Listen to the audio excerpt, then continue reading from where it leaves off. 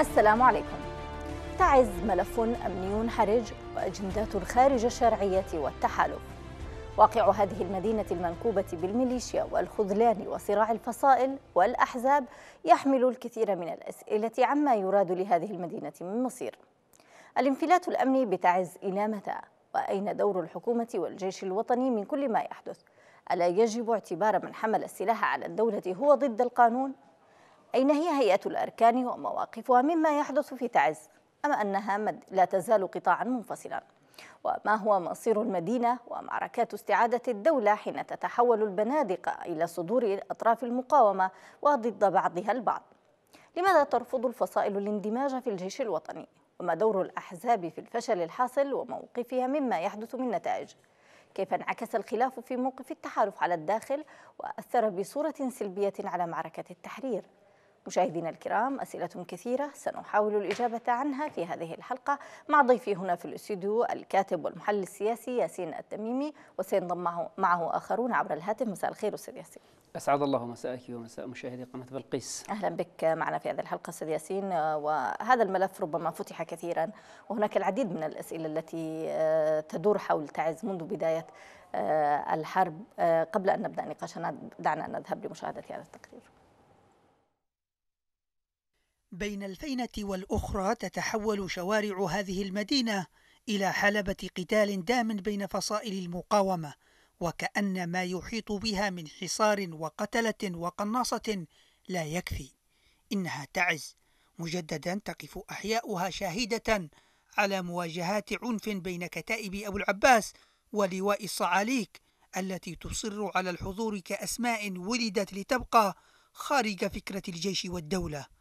هلع يصيب أبناء المدينة جراء اشتباكات عطلت حركة الشوارع وتسببت بإغلاق محلاتها لتتعمق الأزمة كلما ارتخت قبضة الجيش الوطني وغاب وجه الشرعية وسلطتها عن المدينة؟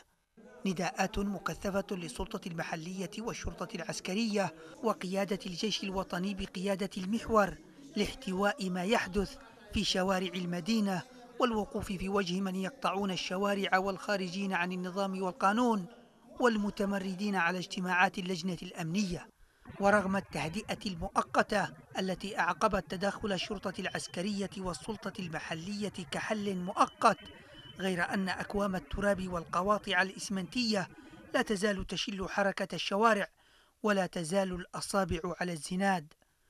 تقول كتائب أبو العباس في بيان لها إنها تعرضت لهجوم من قبل أفراد لواء الصعاليك وأفراد الشرطة العسكرية غير أن للطرف الآخر موقفا آخر فكتائب أبو العباس المتهم بالإرهاب مؤخرا شنت هجوما عنيفا وقصفا مركزا بقذائف مختلفة على مبنى البحث الجنائي وحاولت اقتحام المبنى بحسب مصدر عسكري.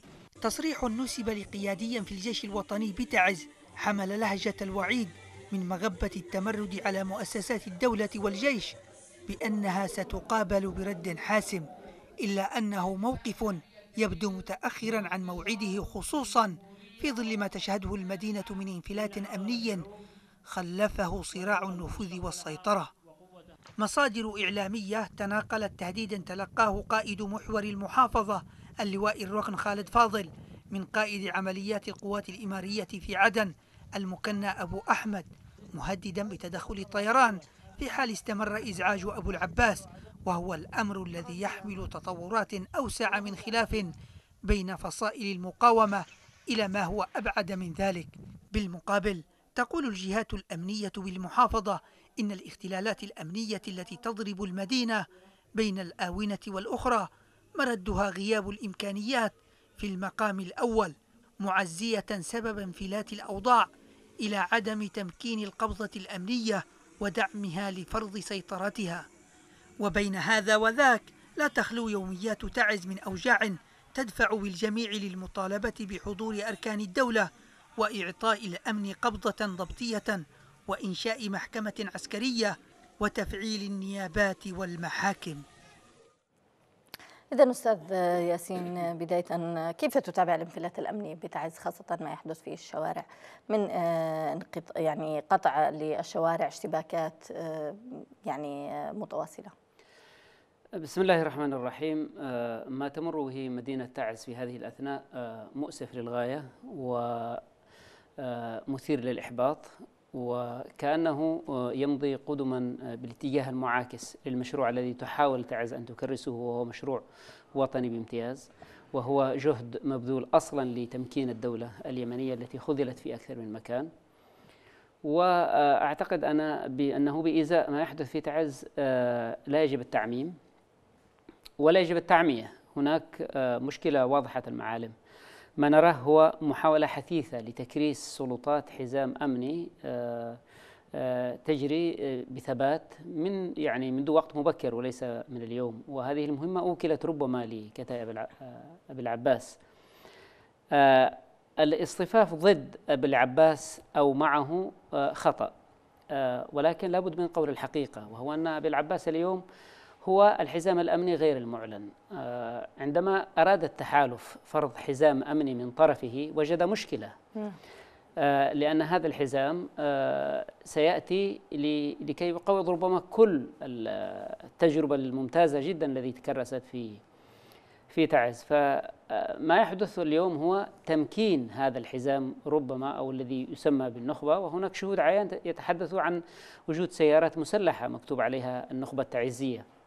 وهو محاولة آه، واضحة لتمرير فكرة الحزام أو النخبة التي تريد الإمارات أن تكون تابعة لها بالمطلق في محافظة تعز نعم. الإمارات ربما تريد أن تطمئن بأن آه، أي تحرك عسكري في تعز يجب أن لا يقطف ثماره الإخوان المسلمون وهذه مشكلة كبيرة جدا لأنه هذا الحقد الأيديولوجي تدفع تعز ثمنه غاليا ويدفع اليمن ثمنه نعم غاليا. يعني هذا التقدير الخاطئ من جانب الإمارات في كون أن إذا ما حسمت حتى المعركة العسكرية في اليمن بشكل كامل فإن المستفيد الوحيد هو الإخوان المسلمون واليوم أضافوا أيضا قطر أنه إذا ما تم الحسم فستستفيد قطر والإخوان المسلمون. هذه مشكلة كبيرة جدا. هذا آه، آه، يعني تجاهل متعمد لتضحيات هذه المدينة والمحافظة بشكل عام وهي تضحيات تأتي في السياق الوطني وليست مرتبطة بأي مشروع وليست مرتبطة بأي اتجاه حزبي. وأنا في تقديري أن كتاب أبي العباس تمضي ضد فكرة يعني يعني تقدير الدولة نفسها.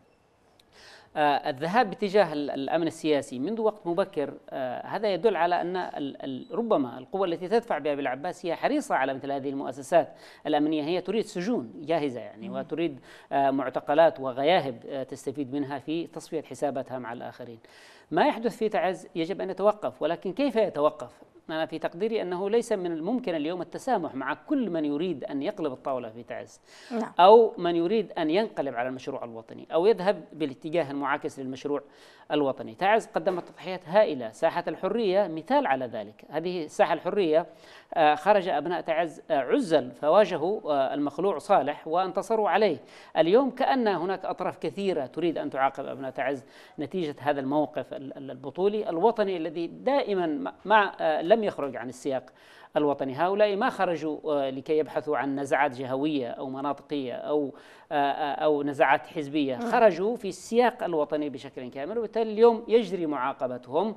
والكتابة بالعباس التي هي يفترض أن تكون جزءا من اللواء 35 أنا أتساءل هنا أين قائد اللواء 35 إذا كان جزء من الكتائب التابعة له تحدث كل هذه الفوضى والمغامرات السيئة التي تقلق أبناء تعز و و وتبقيهم يعني آه، في طار الخوف نعم. وال... ربما هذا هو السؤال أستاذ ياسين يعني آه، هناك من يقول أن كل ما يحصل آه، والمشكلة الجوهرية هي عدم أو تعثر دمج المقاومة بالجيش. ويعني يفترض كتاب أبو العباس أنها تنتمي للواء ال 35 قيادة اللواء ممثلة بعد الحمادي يعني يقول بأن هناك تمرد من قبل أبو العباس وعدم انضمام فعليا لهذا اللواء هل يعني مثلا كنا نسمع آه هذا هذا ما قلته صحيح كنا نسمع آه, آه، يعني هذه المسميات في فترات يعني عدم الوضوح في يعني في فترة المقاومة والنضال نعم. لطرد الحوثيين اليوم جرى اتفاق آه، معمد من الرئاسة بدمج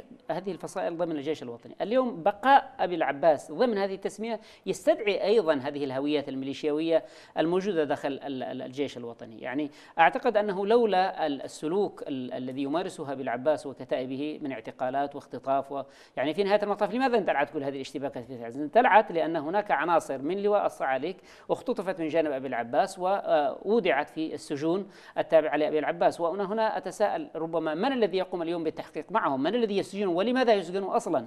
هؤلاء لماذا يتم سجنهم؟ إذا هناك مخطط مستمر. يعني المعتقلات الموجودة في المحافظات الجنوبية يجري استدعاها اليوم في تعز عن طريق أبي العباس.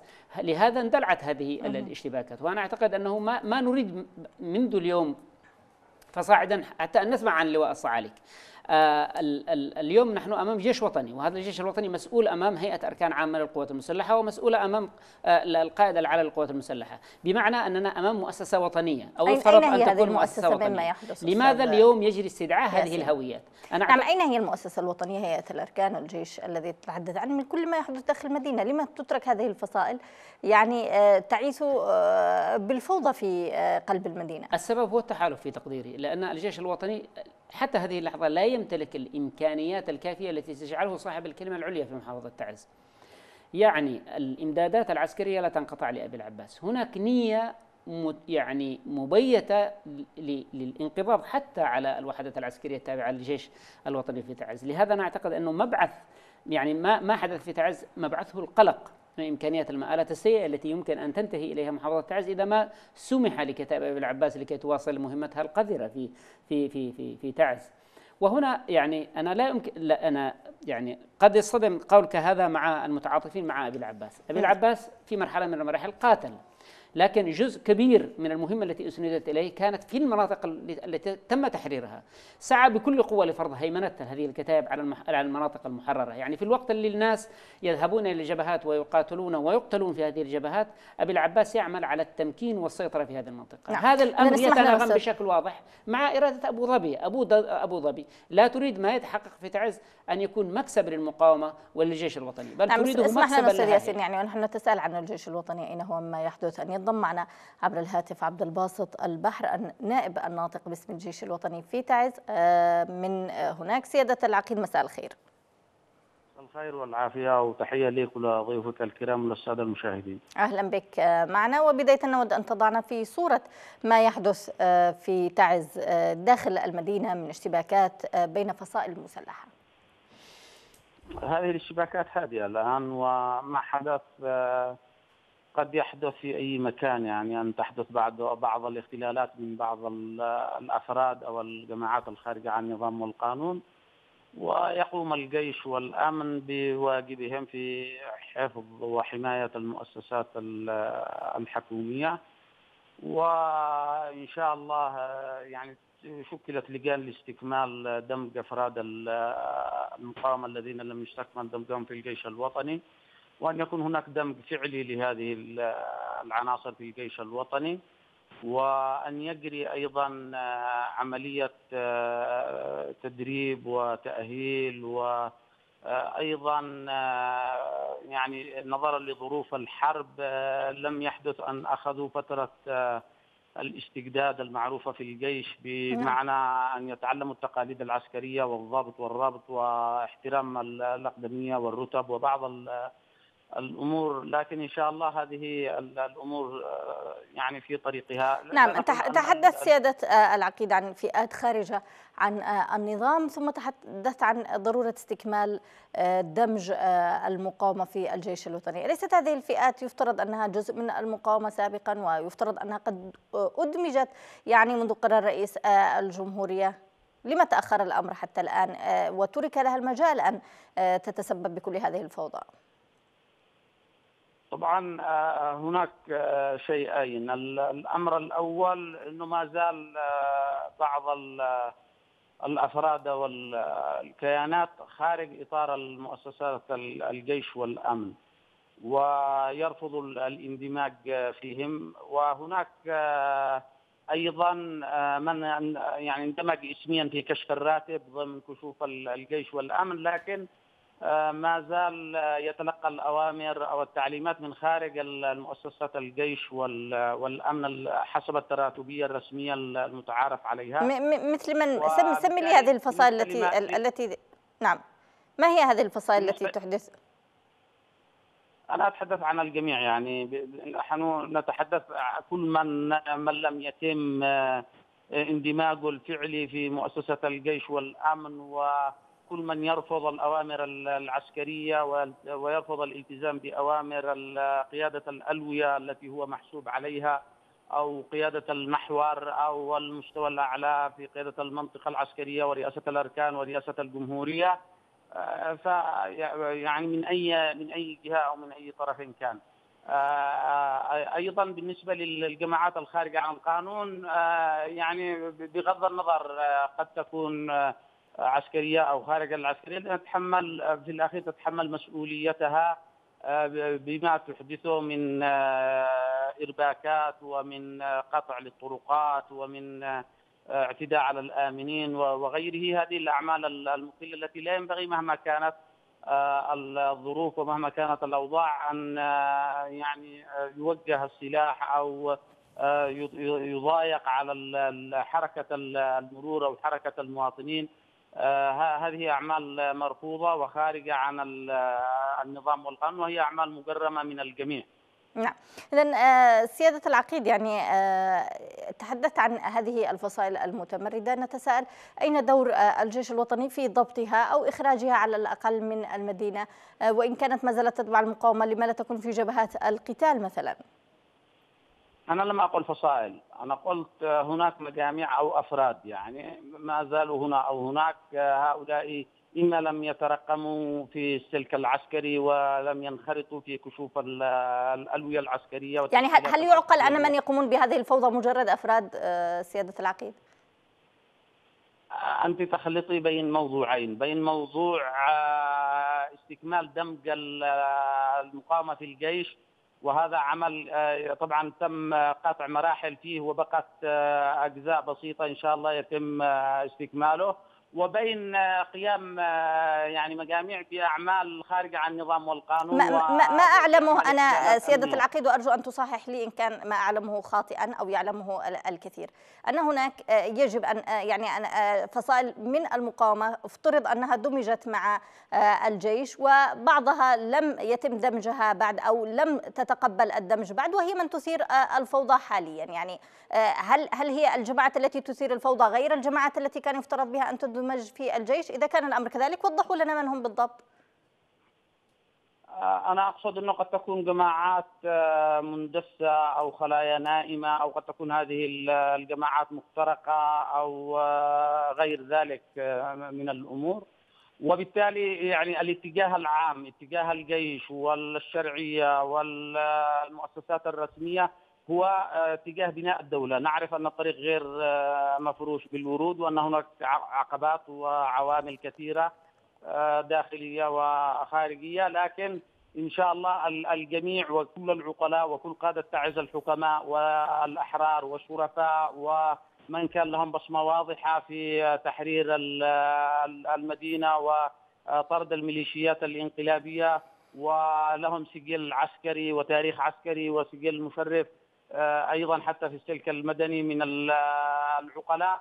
أنا أعتقد أن الجميع متجه يعني الاتجاه الرسمي وترسيم الحياة في تعز تماما وأن تخضع للاجراءات الرسمية سواء في النيابات النيابة العامة الآن شبه متواجدة، النيابة العسكرية متواجدة تماما والمحكمة العسكرية متواجدة في عدن، من له تظلم أو له قضية فالنيابات موجودة، السجن المركزي يعيد تأهيله، الشرطة العسكرية يعني بدأت أيضا بداية قوية، قوات الأمن الخاصة الآن أعيد ترتيبها. جميل جميل كل ذلك سيادة العقيد ولكن أثرها على الواقع لم يظهر بعد يعني تحدثني عن استكمال كثير من الأمور ولكن يعني حين تنشب الفوضى لا يتم ضبطها إلا بعد الكثير من الخسائر. يعني أتمنى أن يستمع هؤلاء الذين وصفتهم بجماعات أو بأفراد إلى خطابك المتوازن وخطابك الدبلوماسي وأن يستمعوا لصوت العقل رغم أن الجميع يعلم من هم ومن هي اسماءهم وما الذي يقومون بعمله لا تنسى اننا في عصر التكنولوجيا الجميع يعني يستطيع الحصول على المعلومة ببساطة. شكرا جزيلا لك العقيد عبد الباسط البحر نائب الناطق باسم الجيش الوطني في تعز. كنت معنا عبر الهاتف من هناك. عودة إليك أستاذ ياسين. يعني ربما ما يحدث في تعز عبارة عن خلايا مندسة أو نائمة كما تفضل سيادة العقيد. ما رأيك بهذا التوصيف؟ أنا أعذر العقيد في كل ما قاله. يعني أعتقد أنه ليس مخولا أن يتبنى موقف ما. وهذا يعكس الموقف الحرج الذي يواجهه الجيش الوطني في ظل التهديدات التي يتلقاها من الجانب الإماراتي بالتدخل اليوي لحسم الموقف لصالح فريق معين. وهذا ربما الجيش الوطني يحاول أن يتجنب يعني توجيه تهمه واضحه للطرف المتسبب. لكن كما قلت اليوم أصبح أصبحت الأمور كلها مكشوفة وواضحة. القضية وما فيها هو أنه إذا لم تقم هذه الكتائب بعمل هذه الفوضى فستتكفل التحالف نفسه يتكفل بهذه المهمة. لا تنسوا أن آه، قبل نصف شهر تقريبا آه، قصف موقع آه، عسكري تابع للواء 22 في جبل العروس وقصفت معه طبعا وكانت وكان الهدف الرئيسي طبعا جهاز الإرسال الإذاعي وهذا يدل على أن هناك مخطط شامل ومحكم لتطويق تعز واستكمال مهمة الحوثيين في حقيقة الأمر. القمع الأمني الذي تقوم به كتائب محسوبة على الجيش وهي كتائب أبي العباس آه، ضد بقية الأطراف العسكرية آه، والفصائل العسكرية في في تعز آه، لا يمكن تفسيره إلا أنه نوع من الأعمال الميليشياوية وتتشابه في أهدافها وغايتها النهائية مع ما يقوم به الحوثيين من كسر لإرادة أبناء آه، محافظة تعز والمقاومين والمقاتلين الأبطال الذين دحروا الحوثيين من هذه المدينة. آه، مهمة كسر هذه المقاومة وتحييدها وإنهاء دورها في محافظة تعز يدل على أن ما يخبأ لمحافظة تعز خطير للغاية. وهو أخذها إلى عكس ما كانت تريد أن تذهب إليه. تعز هي نموذج للمحافظة التي تنزع إلى التحرر والانعتاق وتنتصر بكل ما تملك من من قوة وإرادة للمشروع الوطني وللجمهورية. وهذا هدف في حقيقة الأمر يصطدم مع الترتيبات التي يجري آه، العمل عليها من قبل التحالف ربما والإمارات العربية المتحدة وأبو ظبي بشكل خاص. وهي ترتيبات خطيرة للغاية. كما قلت الموضوع في تعز خطير للغاية. لا يجب أن يسمح لهذه الهويات الفصائلية بعد اليوم أن تتسيد على الموقف. أنا أعتقد أن انفجار الوضع على هذا النحو صحيح أنه مأساوي لكن يجب أن آه، يتنبه الجميع إلى أن المواجهة العسكرية البحتة مع فصيل تدعمه الإمارات قد لا يكون يعني هو الخيار الوحيد. تعز هي قوة مدنية في الأساس. وأبي العباس قد يواجه بمواطنين. في نهاية المطاف. المؤسسات التي يحتلها أبو العباس اليوم ويريد أن يقدمها هدية لأبو ظبي آه، يجب أن آه، تستعاد وتستعاد بإرادة وطنية شاملة بمعنى أن هناك قوى شعبية تتحرك باتجاه هذه المؤسسات وتحررها وتسلمها للسلطة. وعلى الرئيس عبد الرب منصور هادي وحكومته أن يتحملوا هذه المسؤولية. هذه المؤسسات يجب أن تستعاد. ماذا يعني أن يبقى مبنى الأمن السياسي بسجونه السرية ومعتقلاته تحت تصرف أبي العباس؟ عندما يقول أبي العباس أنه جزء من آه، القوة آه، اللواء 35 على اللواء 35 أن يتصرف كلواء يخضع للتراتبية العسكرية ولهيئة الأركان العامة ولمحور آه، تعز بمعنى أنه يأتمر لقيادة المحور. قيادة المحور ينبغي أن تتسلم هذا الموقع وتدفع به إلى الجهات الأمنية المختصة. هذا المرفق الأمني يخص الأمن السياسي بوجه خاص وإذا على الأمن السياسي أن يتسلمه الآن. لا يجب أن تبقى هذه المؤنش يعني آه، قلعة القاهرة. تحت آه، آه، سيطرة آه، أبي العباس. القلاع المنشآت الأمنية الرسمية يجب أن تسلم للجهات الرسمية. لا تسلم لأي فصيل. أنا أعتقد أن كل الفصائل ستسلم بهذا الأمر وكل الفصائل سلمت بهذا الأمر من قبل وإلا لما استطاع أبي العباس أن يتوسع بهذه السهولة. نعم. الناس تعاملوا بحسن نيه منذ البداية مع أبي العباس، لكن اتضح أن أبي العباس يتصرف كحزام أمني منفلت، أبي العباس هو الذي جلب العار لتعز اليوم، عندما يطلق عليه على أنه إرهابي من قبل الولايات المتحدة الأمريكية وحتى من قبل الرياض التي هي قائدة التحالف. إذا كيف نفهم هذا؟ كيف يدير هذه هذا الإرهابي هذه العمليات؟ أنا قد لا أتبنى هذا المصطلح لكن في نهاية المطاف هناك يعني مخطط لشيطنة هذه المدينة وأبي العباس يساهم بشكل كبير جدا في هذا نعم اسمح لي أتساءل أيضا عن دور آه، المحافظ المعمري خاصة آه، بعد تراجعه عن الاستقالة آه، قبل شهرين ولم نسمع منه أي شيء بعد ذلك أو لم نرى أي خطوة اتخذت بعد التراجع على الاستقالة ولكن اسمح لي أن أسمع الإجابة منك بعد الفاصل. مشاهدينا الكرام فاصل قصير ونعود إليكم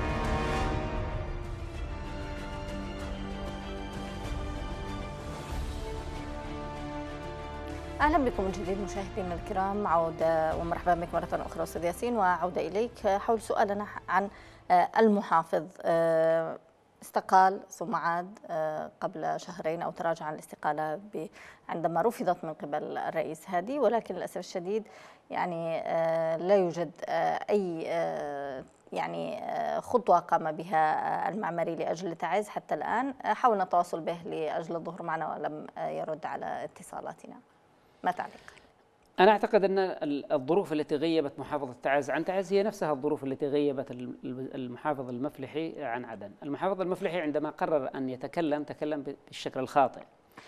واتهم الحكومة بالفساد وعرق ولكنه تكلم قبل ذلك آه ربما بوضوح أكثر. أيوه واتهمها بعرقلة حتى جهود التحالف لتطبيع الأوضاع في عدن. وكان هذا واضح بأنه المفلحي ربما عقد صفقته الخاصة. نعم دعني من المفلح الآن نتحدث عن محافظ تعز هو هناك ربط بين محافظ تعز ربما آه، يخضع بشكل آه، صارم لأوامر الرئيس عبد الرب منصور هادي. وكما تعلمين هو وضع محافظة تعز هو في سياق الصراع الخفي المعلن بين أبو ظبي وبين الرئيس عبد الرب منصور هادي. يعني أبو ظبي أعلنت بشكل واضح في رسالتها الموجهة لقائد المحور بأن رئيس اللجنة الأمنية سيتغير وبأن محافظة تعز, محافظة تعز سيتغير. كان الأمر هذا بينما كانت استقالة محافظة تعز منظورة من قبل الرئيس عبد الرب منصور هادي. بعد هذه الرسالة مباشرة استدعى الرئيس عبد الرب منصور هادي محافظة تعز وكان هذا إجراء مقدما من جانب الرئيس ثم أمره بالعدول عن الاستقالة وممارسة مهامه كمحافظ. لكن الخطوة التالية هي التي لا يستطيع الرئيس عبد الرب منصور هادي أن يتحكم بها وهي تأمين عودة محافظة تعز إلى تعز. عليه أن يمر عبر عدن أو عبر المخا أو عبر الحديدة أو عبر صنعاء. وعلينا أن يعني كل هذه المسارات خطرة إما عبر الحوثيين أو عبر الإماراتيين.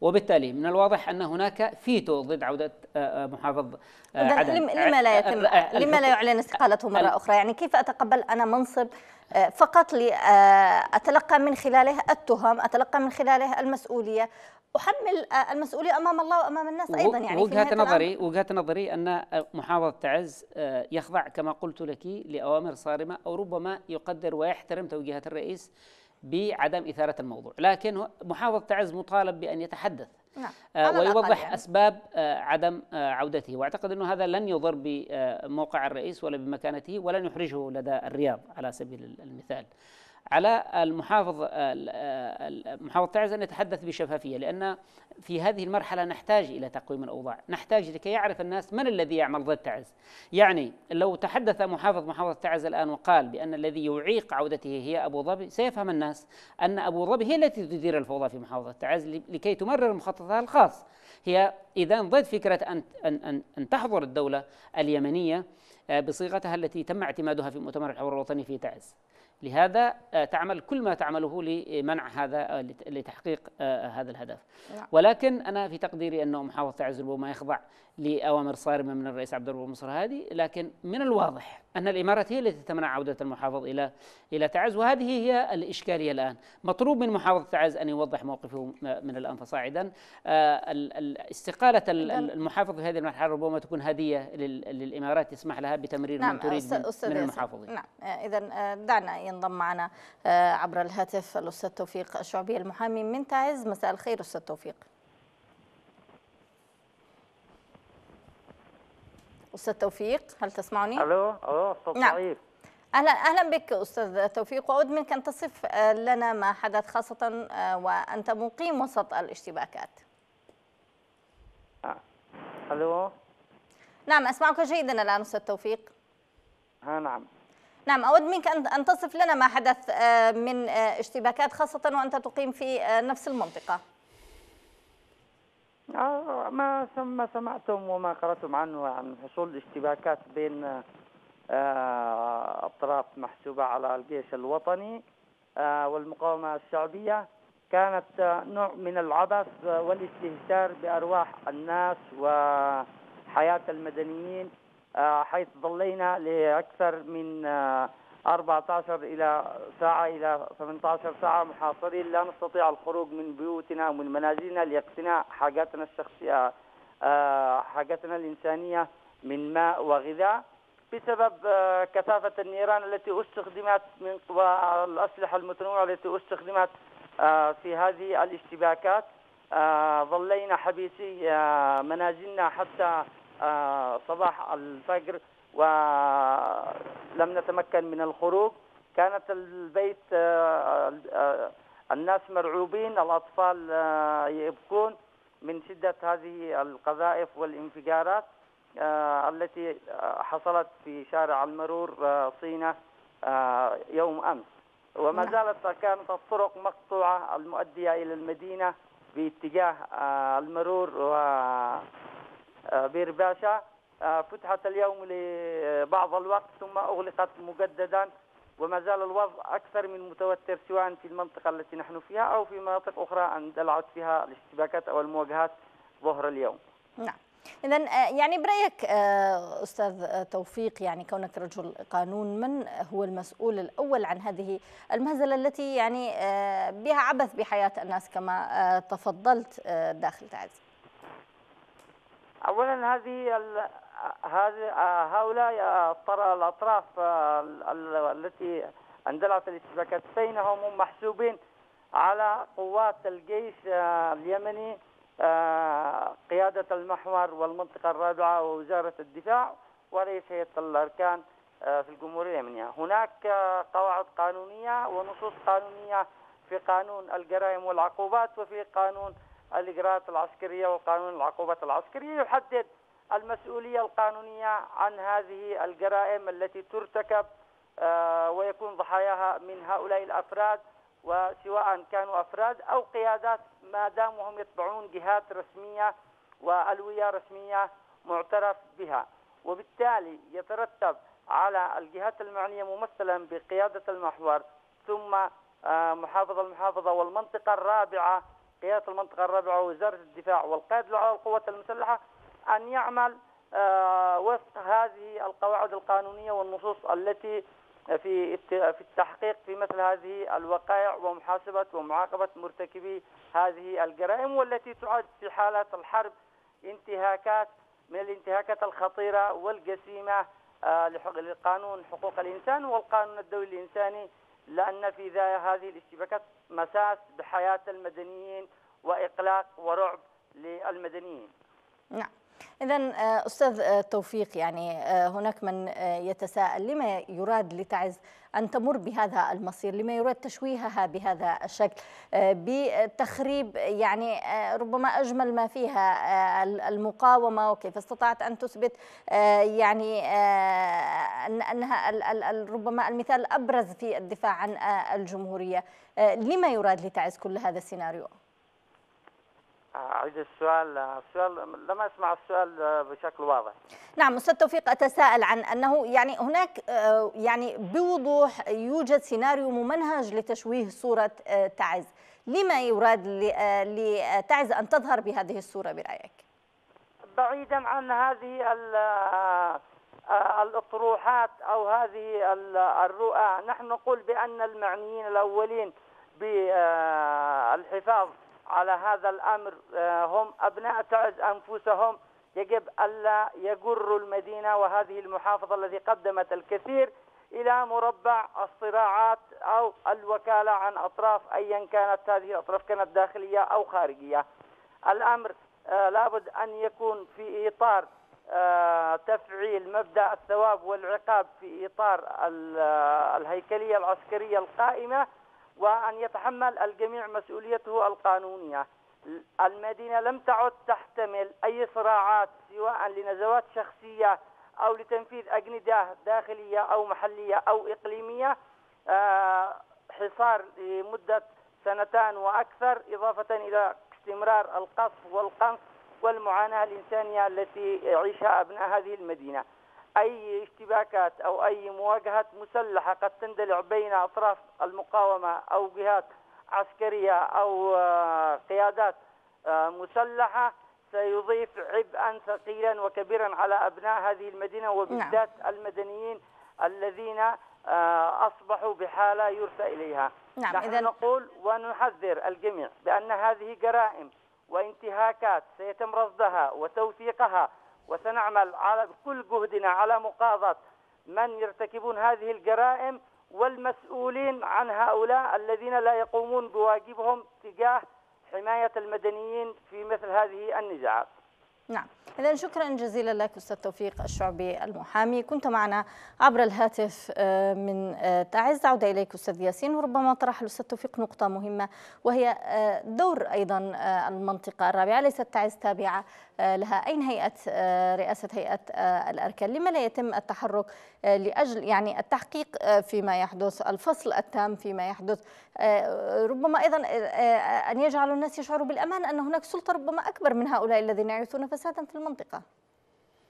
أنا أو أنه لا يوجد يعني. هذا هذا تساؤل آه، آه، ممتاز ورائع ولكن آه، هذا يعيدنا إلى إشكالية العلاقة بين الجيش الوطني والتحالف نفسه. يعني هناك علاقة ملتبسة. يعني في الوقت الذي يجري دعم الجيش الوطني من قبل هذا التحالف هناك استهداف أيضا للجيش الوطني في خصوصا في بعض الجبهات.